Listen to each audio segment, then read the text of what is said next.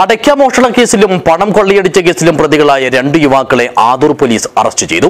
സ്റ്റേഷന് പരിധിയിലെ റഫീഖ് നൌഫൽ അലി എന്നിവരെയാണ് S I Vinod കുമാറും സംഘവും കാസർഗോട്ട് വെച്ച് അറസ്റ്റ് ചെയ്തത്.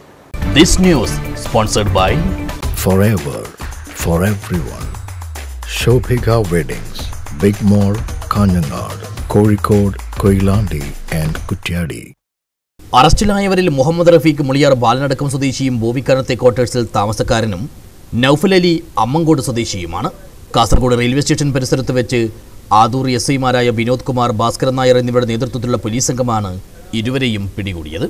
ഇക്കഴിഞ്ഞ നവംബർ നാലിന് രാത്രിയിലാണ് യൂണിയൻ ബാങ്ക് ഓഫ് ഇന്ത്യയുടെ ബോവിക്കാനം ബ്രാഞ്ചിലെ പിഗ്മി ഏജന്റും എട്ടാം മൈൽ സ്വദേശിയുമായ രാമകൃഷ്ണൻ ആചാരി വീട്ടിലേക്ക് നടന്നു പോകുന്നതിനിടെ ബൈക്കിലെത്തിയ പ്രതികൾ തലക്കടിച്ച് വീഴ്ത്തി ഇരുപത്തി മൂവായിരം രൂപയും മറ്റു രേഖകളും അടങ്ങിയ ബാഗ് തട്ടിപ്പറിച്ച് കടന്നു കളഞ്ഞത് ഈ കേസിൽ പിടികൂടി ചോദ്യം ചെയ്തപ്പോഴാണ് കഴിഞ്ഞ മാസം ഇരുപത്തിയൊൻപതിന് രാത്രിയിൽ പേരെടുക്ക സ്വദേശി സനോജിന്റെ ഉടമസ്ഥതയിൽ ബോവിക്കാനം ടൗണിൽ പ്രവർത്തിക്കുന്ന മലഞ്ചരക്ക് കട കുത്തിത്തുറന്ന് രണ്ട് കിൻഡലടക്കിയും ഇരുപത്തിയഞ്ച് കിലോ കുരുമുളകും കവർന്നതും തങ്ങളാണെന്ന് ഇരുവരും വെളിപ്പെടുത്തിയത്.